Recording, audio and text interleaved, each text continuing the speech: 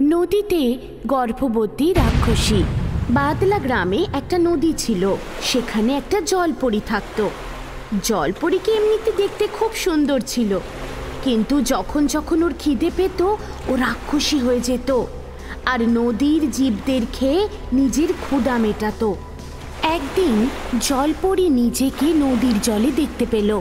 আমাকে দেখতে কত সুন্দর, কিন্তু যখন আমার খিদে পায় আমি ভয়ঙ্কর হয়ে উঠি আর তারপর আমি জানতেই পারি না যে আমি কি করি। জানি না এই অভিশাপ কবে শেষ হবে কবে আমি গর্ভবতী হব। কেউ তো আমার কাছেই আসতে চায় না। এই চিন্তাতেই জলপরীর মন খুব খারাপ ছিল। তখনই হীরা নামের একজন লোক ওখানে এলো। তুমি কত সুন্দর তুমি একজন জলপরি তাই না? হ্যাঁ আমি একজন জলপরী। কিন্তু তুমি মন মরা হয়ে কেন? আমার এত সুন্দর হয়ে কি লাভ? কেউ তো আমায় ভালোই বাসে না কেউ তো আমায় বিয়েই করতে চায় না। আশ্চর্য?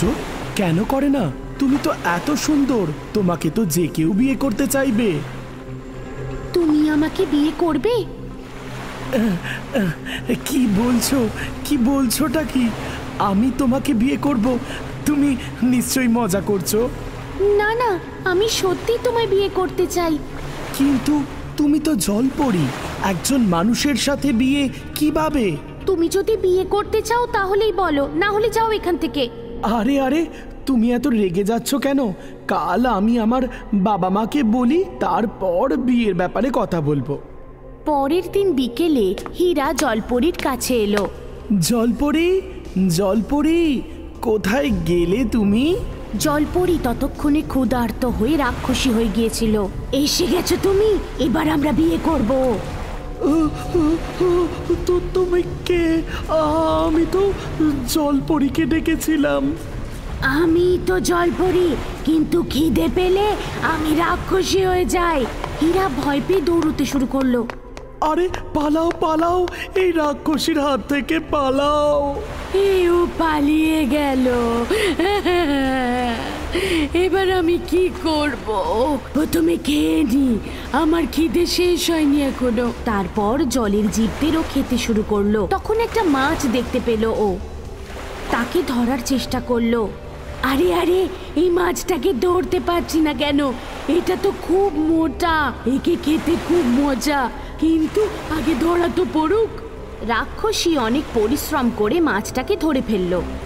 এই মাছটাকে তো আমি গোটা গিলে ফেলব। আর রাক্ষসী ওই মোটা মাছটাকে গোটায় গিলে ফেলল। কিন্তু ওই মাছটা গর্ভবতী ছিল। আর ও রাক্ষসীর পেটেই নিজের বাচ্চা দিয়ে দিল।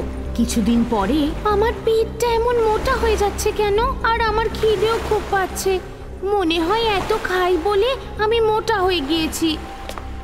একদিন গ্রামের কিছু জেলে মাছ ধরতে এলো। এই নদীতে আগে কত মাছ পাওয়া যেত। এখন তো ভীষণ কম মাছ পাওয়া যায়। হ্যাঁ আগে তো একবার জাল ফেললেই কত কত মাছ চলে আসতো। আর এখন? আজ যাই হয়ে যাক আজ আমার প্রচুর মাছ লাগবে। কিছু বেচার জন্য আর কিছু বাড়িতে খাওয়ার জন্য। দুজনে জাল ফেলেছে অনেকক্ষণ হয়ে গেল। প্রায় সন্ধে হতে চলল। চলো ভাই ঘরে ফিরে যাই। এই নদী থেকে আর কিচ্ছু পাওয়া যাবে না। দুজনে জাল টানতে শুরু করল। তখনই নদী চক্রাকারে ঘুরতে শুরু করল। এই জল গোল গোল কেন ঘুরছে বলো তো বাবা? আরে জানি না ভাই এসব কি হচ্ছে বাবা? তখনই ওই জলচক্র থেকে একটা রাক্ষসী বেরোলো আর জলজ জীবদের ধরে ধরে খেতে শুরু করল। আরে আরে আরে এই ভূত কোথা থেকে এসে গেল? আর দেখো নদীর সব জীবদের মেরে ফেলছে। আরে হ্যাঁ হ্যাঁ ভাই দেখো এ রকম মাছগুলো গপাগপ খেয়ে নিচ্ছে। তাই আমরা নদীতে আর মাছ পাই না। দেখতেই দেখতে ওই রাক্ষসী অনেক জীবদের খেয়ে ফেলে। আহ! মজা হলো। এতক্ষণে খিদে শান্ত হলো। আর তারপরেই খিদে মিটে গেলে রাক্ষসী জলপরি হয়ে গেল। গ্রামের জেলেরা এই সব ঘটনা দেখছিল। আর এই সব দেখে ওরা ভয় পেয়ে গেল আর ওখান থেকে পালিয়ে গেল। আরে, আমার পেটে এত যন্ত্রণা হচ্ছে কেন? আরে আরে, কি হচ্ছে আমার সঙ্গে? আমার পেটে কি ঘুরছে এটা? আরে আরে, আমার পেটে কি হচ্ছে? কি করে বুঝব আমি? জলপরি খাবার খেয়ে শুয়ে পড়ল। কিছুক্ষণ ঘুমানোর পর ওর চোখ খুলে গেল। আরে আরে, আমার পেটে কি হচ্ছে? মনে হচ্ছে আমার পেটে কিছু লাফাচ্ছে। আ আ মা গো। আমার পেটে কি যন্ত্রণা হচ্ছে? কোথায় যাব আমি? কি করব আমি? সেই সময় ওখানে কিছু মহিলা এলো। রাধা, কিছুদিন হলো আমার মনটা খুব খারাপ। কি জানি আমার কি হয়েছে। পেটেও খুব যন্ত্রণা হয়। এই, তুই গর্ভবতী নোস তো? একবার গ্রামের দাইমাকে দেখিয়ে নে। পেটে হাত দিয়েই ও বলে দেবে যে বাচ্চা হবে নাকি তোর অন্য কোনো শরীর খারাপ। জলপরি ওদের কথা শুনলো। আচ্ছা আমিও তো ওই দাইমাকে একবার দেখাতে পারি পেটটা, কিন্তু আমি এইভাবে গেলে আমাকে জানোয়ার ভেবে সবাই মেরে ফেলবে। আমি বেশ বদলে যাব। হ্যাঁ হ্যাঁ এটাই ঠিক হবে। এখন চল তাড়াতাড়ি বাড়ি যাই। এই নদীর দিকে তাকিয়ে থাকলে তো আর বাড়ির কাজগুলো হয়ে যাবে না। দুজনে এই গ্রামের দিকে এগিয়ে গেল। জলপরি ভেষ বদলে ওদের পিছু পিছু চলতে থাকল। বোন, শোনো। কি বলছো বোন? তুমি আমাদের কি কিছু বলছো? হ্যাঁ বোন তুমি আমাকে দাইমায়ের ঠিকানাটা দিতে পারবে? আচ্ছা আচ্ছা সুখবর কিছু? পেট দেখে তো তাই মনে হচ্ছে। আচ্ছা শোনো, পরের গলিতে গিয়ে প্রথমে ঘুরলেই দাইমার বাড়ি। জলপরি ওখানে যায় আর দাইমাকে নিজের সব গল্প বলে। দাইমা ভালো করে চেক করে। আরে মা, তুমি তো মা হতে চলেছ। আর কিছুদিনের মধ্যেই বাচ্চা হবে। হ্যাঁ? আচ্ছা আমি মা হতে চলেছি। আচ্ছা আমি যাচ্ছি তাহলে। আরে মা শোনো আমার কথা তো শুনে যাও। আরে এর আবার কি হলো? পালিয়ে গেল কেন? আমি গর্ভবতী কি করে হলাম? আমি গর্ভবতী আর আমি জানি না। কিন্তু কি করে হলো? যাকে যা হলো হলো। মা হলেই আমি এই রাক্ষসী অভিশাপ থেকে মুক্তি পাবো। এইভাবেই কিছুদিন কেটে যায়। জলপরি ঘুমোচ্ছিল। হঠাৎ করেই পেটে প্রচণ্ড যন্ত্রণা শুরু হয়। খুব যন্ত্রণা হচ্ছে, মা! খুব যন্ত্রণা হচ্ছে। আরে বাবা, আর থাকতে পারছি না ভগবান। আমাকে বাঁচাও। হে রামজি, আমাকে আমাকে বাঁচাও। খুব যন্ত্রণা হচ্ছে। জলপরি অনেকক্ষণ ধরে কষ্ট পাচ্ছিল। হঠাৎ করেই ওর বাচ্চা পেট ছিঁড়ে বেরিয়ে এলো। পেট ফেটে গেল বলে জলপুরি সঙ্গে সঙ্গে ওখানেই মরে গেল। কিন্তু জলপুরির বাচ্চা সাধারণ ছিল না। নিচে থেকে জলপরি আর ওপর থেকে রাক্ষসী ছিল ও।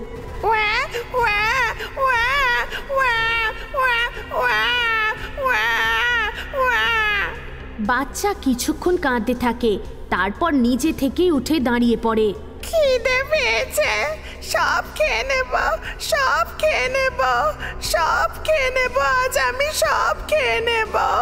আমার মা পেটে থাকতে একদম কিচ্ছু খাওয়াইনি কিন্তু এখন আমি আমার খুশি মতো যত খুশি খাব।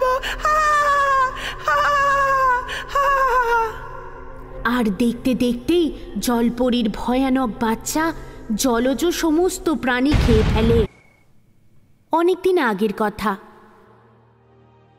কোনো এক নদীতে এক রাক্ষসী জলপরী নিজের দশ বছরের মেয়ের সঙ্গে থাকত। ওরা হাসি খুশি নদীতে জীবন কাটাত।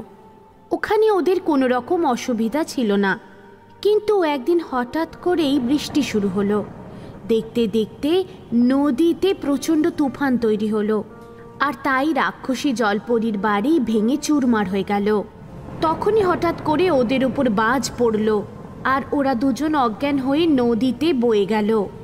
দেখতে দেখতেই দূরে সমুদ্রে গিয়ে ওরা পড়ল। দুজনের যখন জ্ঞান এলো, তখন নিজেদের সমুদ্রে দেখে ওরা অবাক হয়ে গেল। তখনই সমুদ্রে থাকা কিছু জলপরি ওদের কাছে এলো। আরে, এরা দুজন তো রাক্ষসী জলপরি, আমাদের সমুদ্রে এ কি করে এলো? এই তোমরা দুজন এখানে কি করতে এসেছ? যাও, এখান থেকে যাও এক্ষুনি। আমাদের সমুদ্রে রাক্ষসী জলপরীদের কোনো জায়গা নেই। না, বোন, আমাদের এখান থেকে বের করো না। আসলে নদীতে বন্যা হয়েছিল, তাই আমরা বয়ে এখানে চলে এসেছি। আমাদের থাকার কোনো জায়গা নেই। দয়া করে আমাদের সমুদ্রে থাকতে দাও। আমি শুনেছি তোমরা রাক্ষসী জলপরি আমাদের ভালো জলপরিদের মেরে খেয়ে নাও। এখন তোমাকে যদি আমরা এখানে থাকতে দিই, একদিন তুমি আর তোমার মেয়ে দুজনে মিলে আমাদের খেয়ে ফেলবে। না না, তুমি কিছু ভুল করছ। সব রাক্ষসী জলপরি একরকম হয় না। আমরা দুজন তো শুধু মাছ খাই। আমরা থাকলে তোমাদের জলপরিদের কোনো ক্ষতি হবে না। হ্যাঁ হ্যাঁ আমার মা ঠিক বলেছে।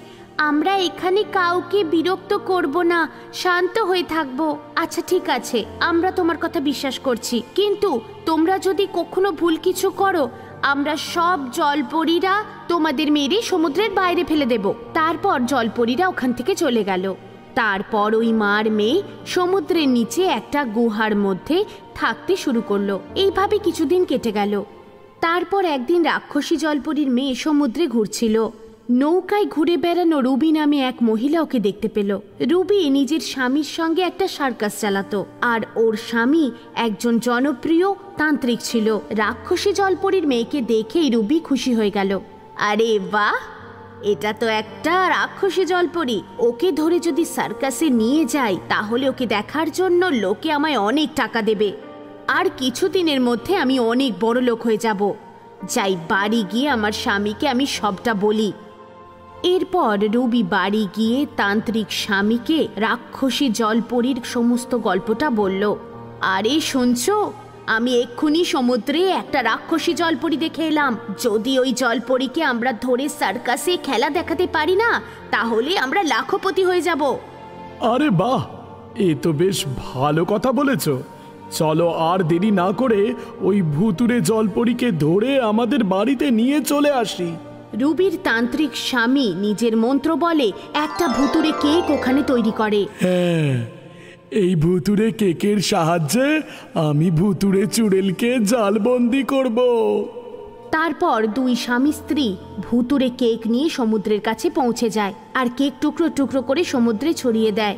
কেকের গন্ধে আকর্ষিত হয়ে নীলম কেকের কাছে চলে আসে। আর আস্তে আস্তে সব কেক খেয়ে ফেলে। কিন্তু কিছুক্ষণের মধ্যেই ও জ্ঞান হারায়। এই দেখে ওই স্বামী স্ত্রী খুব খুশি হয়। তারপর ওরা দুজন নীলামকে ধরে নিজেদের বাড়ি নিয়ে যায়। জ্ঞান আসার পরে নিজেকে কোনো মানুষের বাড়িতে দেখে নীলাম অবাক হয়ে যায়। আরে, আমি এখানে কি করে এলাম? আমরা তোকে এখানে এনেছি। আজ থেকে তুই আমাদের গোলাম। আমাদের সব কাজ তুই করবি। আর যদি তুই কিছু গন্ডগোল করিস না, দেখবি তোর কি অবস্থা করি। আশা করি বুঝেছিস? না না, আমাকে যেতে দাও। আমার মায়ের কাছে আমাকে যেতে দাও। দেখো, আমি তোমার কি ক্ষতি করেছি। দয়া করে আমায় ছেড়ে দাও। তখনই রবির স্বামী নীলমের গলায় একটা ভুতুরে মালা পরিয়ে দেয় আর নিজের হাতে ধরে থাকা জাদু ছড়ির লাল বোতামটা টিপে দেয়। আর যার ফলে জলপরীর মেয়ের গায়ে বিদ্যুতের ঝটকা লাগতে শুরু করে। কষ্ট পেয়ে সে কাঁদতে শুরু করে। না না না না করো না এরকম। আমার খুব কষ্ট হচ্ছে। মা মা মা, আমাকে বাঁচাও। দেখলি তো আমরা কি করতে পারি? আর যদি কখনো তুই আমাদের কথা না শুনিস, তোকে এইভাবেই বিদ্যুতের ঝটকা দিয়ে আমরা কষ্ট দেব। এরপর রুবি আর ওর স্বামী নীলমকে নিয়ে নিজেদের সার্কাসে যায়। তারপর রুবি রাস্তায় দাঁড়িয়ে জোরে জোরে মানুষদের ডাকতে শুরু করে। আসুন আসুন, মাত্র হাজার টাকার বিনিময় নীল চোখওয়ালা রাক্ষসী জলপরীর খেলা দেখুন। এই রকম খেলা জীবনে আপনারা কখনো দেখেননি। রুবির কথা শুনে রাস্তা দিয়ে যারা যাচ্ছিল তারা তো অবাক হয়ে গেল। কি বললে? নীল চোখের একজন ভুতুরে জলপরির খেলা? এমন জলপরির কথা তো কখনো শুনিনি। সত্যি তুমি আমাদের নীল চোখওয়ালা ভুতুরে জলপরির খেলা দেখাবে? দেখো, এ তো দারুণ ব্যাপার।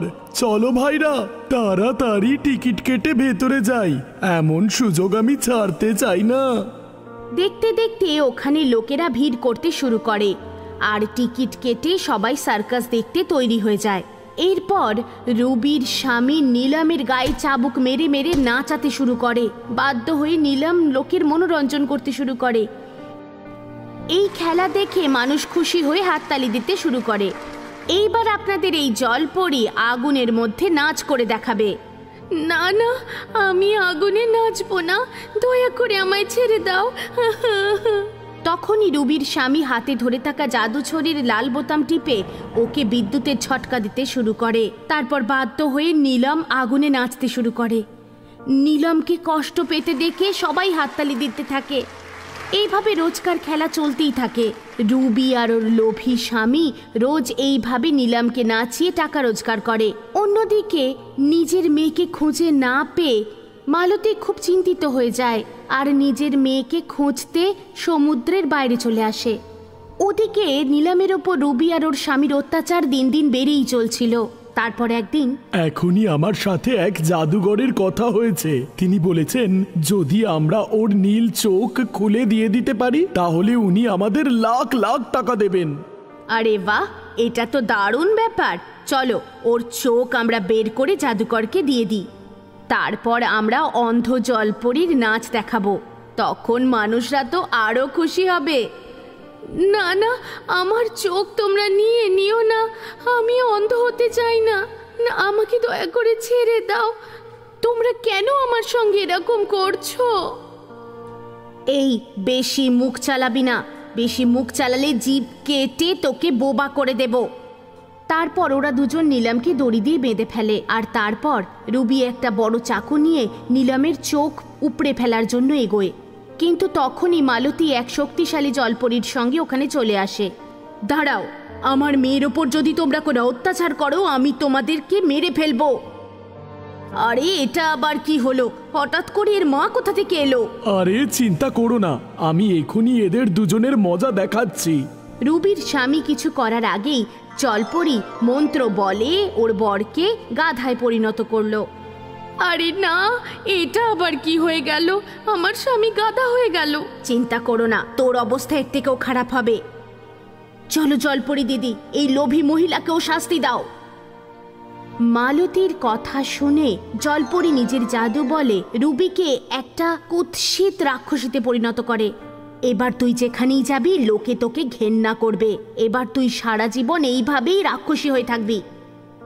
এইভাবেই রুবি আর ওর লোভী স্বামী নিজেদের দোষের শাস্তি পায়। অন্যদিকে মালতী নিজের মেয়েকে নিয়ে সমুদ্রে ফিরে যায় আর দুজনে মা, মেয়ে শান্তিতে জীবন কাটায়। আর গ্রামে খুশবু নামের একটি মেয়ে তার স্বামী দিবাকরের সঙ্গে থাকত। কিছু সময় পর খুশবু গর্ভবতী হয়ে পড়ে। খুশবুর স্বামী দিবাকর একজন শিকারী ছিল ও মাঝে মাঝেই বন্দুক নিয়ে জঙ্গলে শিকার করতে যেত। কিছুদিন পর দিবাকর কোনো একটা কাজ নিয়ে কাছের শহরে যায়। তারপর একদিন খুশবু নদীতে গিয়ে মাছ ধরবে ঠিক করে। জাল দিয়ে মাছ ধরে ধরে আমি বোর হয়ে গেছি। আজকে আমি আমার স্বামীর বন্দুক দিয়ে মাছ ধরবো। তারপর খুশবু নিজের স্বামীর বন্দুকটা নিয়ে নদীর ধারে চলে গেল। তখনই নদীর জলে ও রং বেরঙের মাছকে খেলা করতে দেখল। খুশবু ওই মাছেদের উপর গুলি করতে শুরু করে। কিন্তু খুশবুর নিশানা ভুল হয়ে যায়। এই দেখে খুশবু আরও রেগে যায় আর ও অন্ধের মতো নদীতে গুলি চালানো শুরু করে। তখনই খুশবুর একটা গুলি ওই নদীতে থাকা জলপরীর গায়ে লাগে। জলপরি আঘাত পেয়ে নদীর ধারে এসে কাতরাতে থাকে। জলপরীকে দেখে খুশবু ভয় পেয়ে যায়। হে ভগবান, এ আমি কি করে ফেললাম? আমার গুলি তো জলপরীর গায়ে লেগে গেছে। খুশবু দেখল ওই সময় ওই জলপরি গর্ভবতী ছিল। ভগবান, আমি অনেক বড় পাপ করে ফেলেছি, এবার আমি কি করব? তখন ওই জলপরি কাতরাতে কাতরাতে রেগে গিয়ে খুশবুর দিকে দেখল। তুই তুই তুই আমার সঙ্গে সঙ্গে আমার বাচ্চাকেও গুলি করে মেরে ফেললি। কিন্তু মরার আগে আমি তোকে অভিশাপ দিচ্ছি। তুই কিছুক্ষণের মধ্যে একজন রাক্ষসী জলপরি হয়ে যাবি আর এই নদীতেই আটকে যাবি। আর নিজের রূপে তবেই ফিরবি যদি তোকে কেউ ওই পাহাড়ের ওপর মন্দিরে নিয়ে যায়।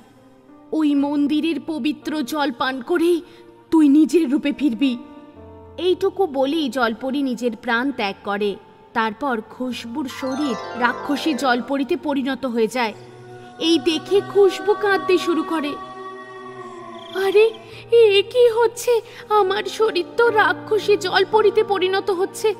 আমায় বাঁচাও কেউ। দেখতে দেখতে খুশবু একটা রাক্ষসী জলপরি হয়ে নদীতে পড়ে যায়। এইসব কি হলো? আমি একজন রাক্ষসী জলপরি হয়ে গেলাম। এবার আমার বাচ্চার কি হবে? আমার কেউ সাহায্য করো। কেউ আমাকে এখান থেকে বাইরে নিয়ে চলো মন্দিরে। এইভাবে খুশবু সারা রাত কাঁদতে থাকে। অন্যদিকে শহর থেকে ফিরে এসে দিবাকর খুশবুকে খুঁজতে শুরু করে। কিন্তু লাখ চেষ্টা করেও খুশবুকে খুঁজে পায় না।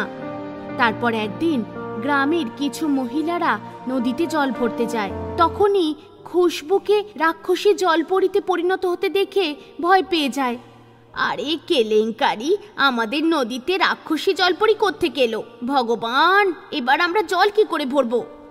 আরে মমতা, এখানে এসে বকবক করো না। না হলে ওই জলপরি আমাদের সবাইকে খেয়ে ফেলবে। পালাও এখান থেকে।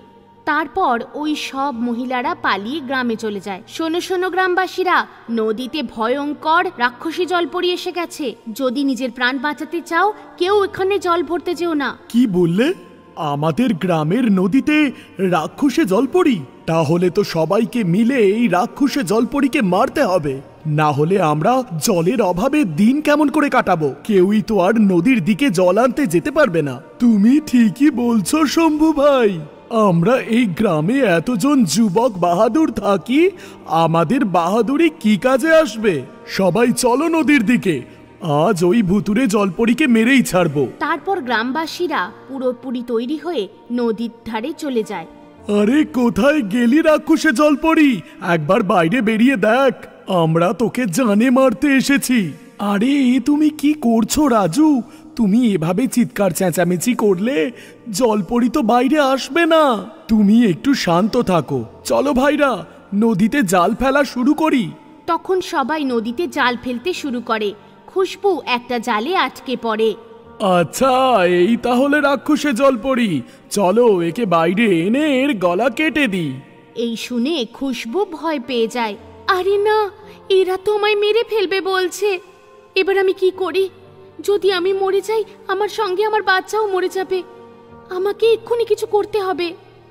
এরপরেই খুশবু জল পড়ে হাত দিয়ে জাল কাটতে শুরু করে।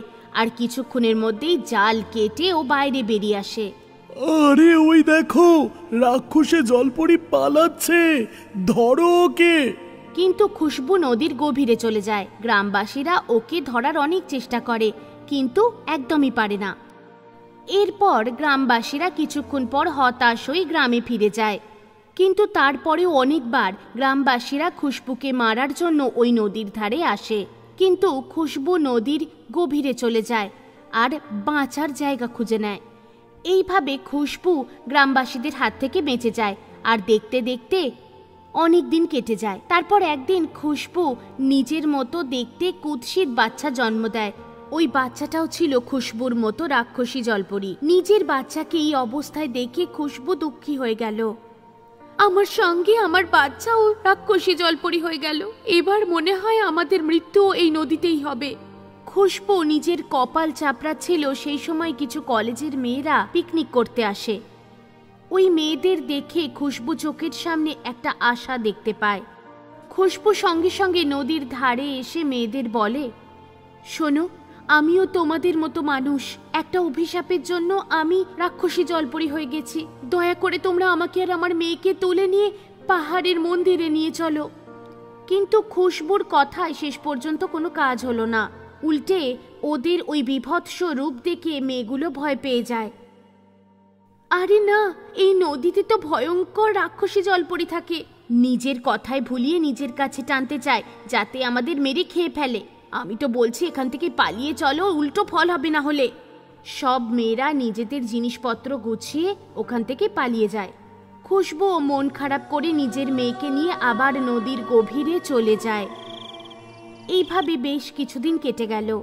তারপর একদিন হঠাৎ করেই একটা তিমি মাছ ওই নদীতে চলে আসে আর খুশবুর মেয়ের ওপর হামলা করে দেয়। খুশবু নিজের মেয়েকে তিমি মাছের কাছ থেকে বাঁচতে চেষ্টা করে। কিন্তু ওই তিমিটা খুশবুর মেয়েকে দাঁতের মধ্যে আটকে নদী থেকে পালিয়ে যায়। এই দেখে খুশবু জোরে জোরে কাঁদতে শুরু করে। তখনই ওখান থেকে একটা জাদুকরনি খুশবুর আওয়াজ শুনে ফেলে। খুশবুর মেয়েকে বাঁচানোর জন্য জাদুকরনি নিজের জাদুর শক্তি দিয়ে ওখানে একটা বিশাল বাঁদর তৈরি করে। তারপর ওই বাঁদর তিমি মাছের ওপর হামলা করে। ওর মুখ থেকে খুশবুর মেয়েকে বের করে আনে। আর তিমি মাছকে তুলে মেঝেতে আঁচড়াতে থাকে। বাঁদরের হাতে মার খেয়ে তিমি মাছ ভয় পেয়ে যায় আর নিজের প্রাণ বাঁচানোর জন্য পালিয়ে যায়।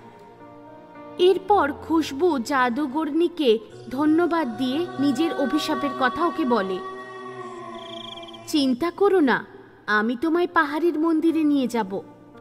এরপর জাদুগরনি খুশবুকে নিজের কোলে তুলে নেয় আর ওর বাঁদর খুশবুর মেয়েকে নিয়ে নিজের কাঁধে বসিয়ে নেয়। এরপর জাদুগরনি নিজের বাঁদরের সঙ্গে জাদু আসনে বসে পড়ে। আর চারজন হাওয়ায় উড়তে উড়তে পাহাড়ের উপরের মন্দিরে পৌঁছে যায়। এরপর বাঁদর মন্দিরের ভেতরে গিয়ে পবিত্র জল নিয়ে এসে খুশবু আর ওর মেয়ের মুখে দিয়ে দেয়। পবিত্র জল পান করেই দুজনেই নিজের রূপে ফিরে আসে। জাদুগরনি ওদের দেখে খুব খুশি হয়। তারপর জাদুগরনি ওদের দুজনকে নিজেদের বাড়ি পৌঁছে দেয়। নিজের স্ত্রী আর মেয়েকে দেখে দিবাকর খুব খুশি হয় আর দুজনকে জড়িয়ে ধরে।